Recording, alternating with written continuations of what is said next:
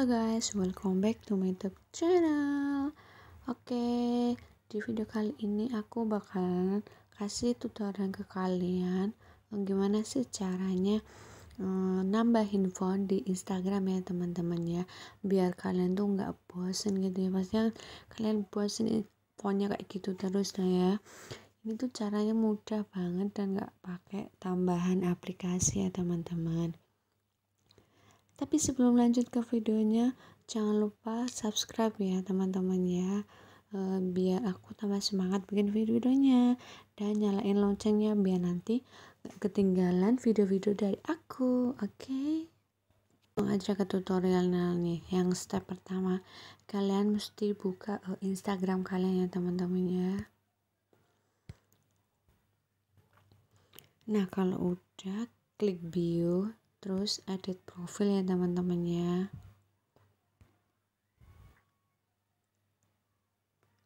ini buat contoh aja ya.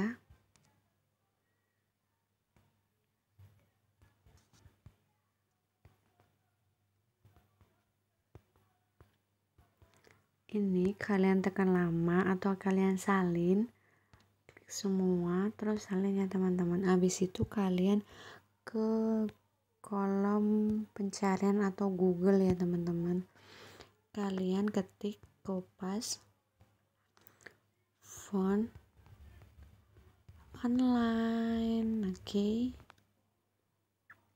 Nah ini halaman awal dari uh, Kopas Font Online teman-teman. Ini tuh fiturnya banyak banget, web webnya banyak banget ya. Kalian tinggal pilih yang mana.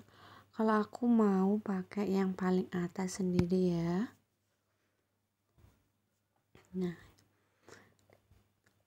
ini halaman awalnya. Yang udah kita klik tadi. Terus kalian tekan lama kalian tempel atau salin yang udah. Kalian uh, copy tadi ya teman-teman.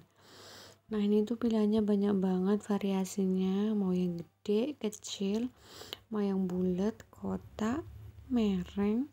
Semua ada di sini ya teman-teman ya. Ada yang tebal tebel. Itu kan banyak banget kalian tinggal pilih. Ntar ya aku mau beli dulu. Nyala yang love love juga ya teman-temannya. Banyak banget ini.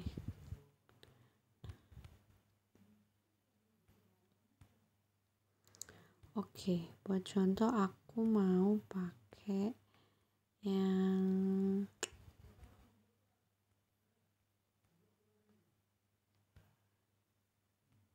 ini aja yang teman-temannya yang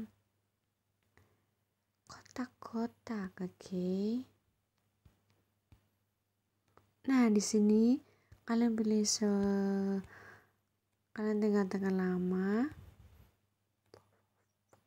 kalian tinggal tekan lama terus kalian salin ya nah habis itu kalian kembali lagi ke aplikasi Instagram tadi oke okay? Langsung aja ini kita hapus. Terus kalian uh, tempel ya yang tadi font udah kita salin oke. Okay. nah kan. Kita lihat nah udah berubah kan teman-teman? Nah ini tuh fontnya tuh banyak pilihan banget. Uh, jadi kalian bisa pilih bisa edit uh, biar bio kalian tuh keren cute gitu ya teman-teman ya gampang banget ini tuh kan tanpa aplikasi. Nah langsung aja kalian praktekin ya. Oke segitu dulu video dari aku. Semoga bermanfaat dan praktekin ya. See you